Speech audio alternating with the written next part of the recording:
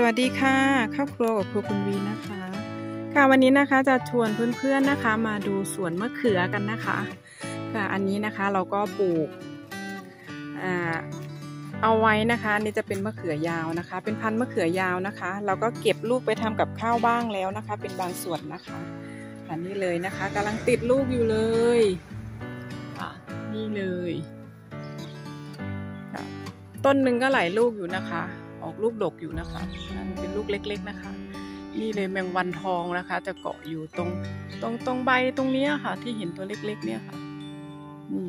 แมงวันทองเยอะมากๆเลยนะคะ ก็จะมาเจาะลูกมะเขือนะคะอาจจะวางไข่ในลูกมะเขือนะคะ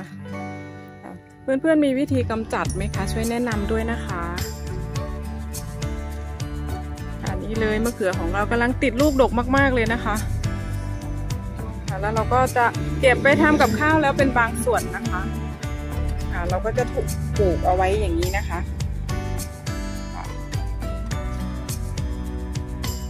ค่ะเราก็ไม่ค่อยได้อยู่นะคะ นานๆนะคะเราจะอาอาทิตย์หนึ่งเราจะออกไปประมาณอาทิตย์ละสามวันนะคะ แล้วเราก็กลับมานะคะ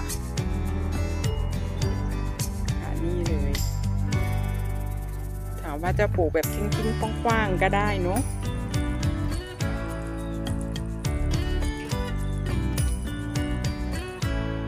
ติดดอกก็มีนะคะ ค่ะ อันนี้จะเป็นมะเขือยาวนะคะ เดี๋ยวเราไปดูมะเขืออีกพันหนึ่งนะคะอันนี้ค่ะนี่ก็จะเป็นมะเขือคือเรียกมะเขืออะไรมะเขือเปาะไหมคะมะเขือเปาะพันธุ์สีม่วงนะคะ นี่เลยนี่กำลังติดลูกเหมือนกัน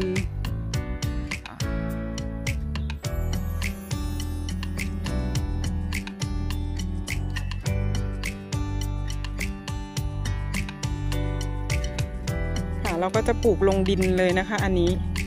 อันนี้เลยติดลูกกำลังติดลูกดกมากๆเลย มีหลายลูกด้วย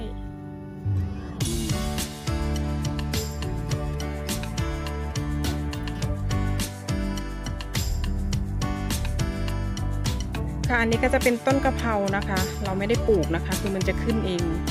งามมากๆเลยนะคะ มีหลายต้นด้วยนู่นก็กะเพรานะคะ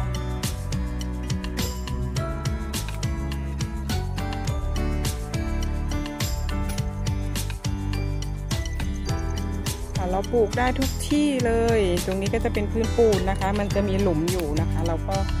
เอาต้นมะเขือมาเสียบเสียบนะคะ มันก็ขึ้นนะคะขึ้นง่ายมากๆเลยนะคะ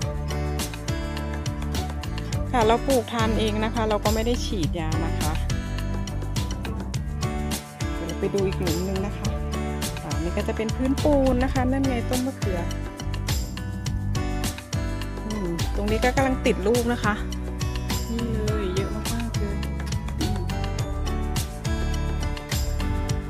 อันนี้จะเป็นรุ่นแรกนะคะ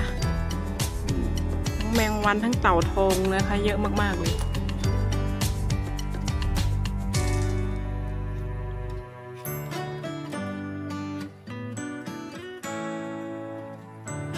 อันนี้ก็จะเป็นต้นมะเขือนะคะ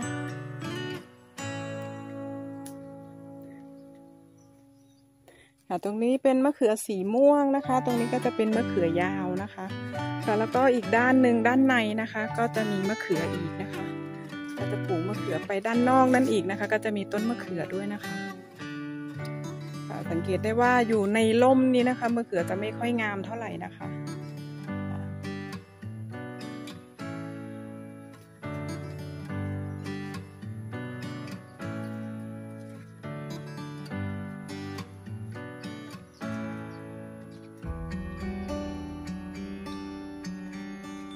โอเคค่ะ วันนี้นะคะ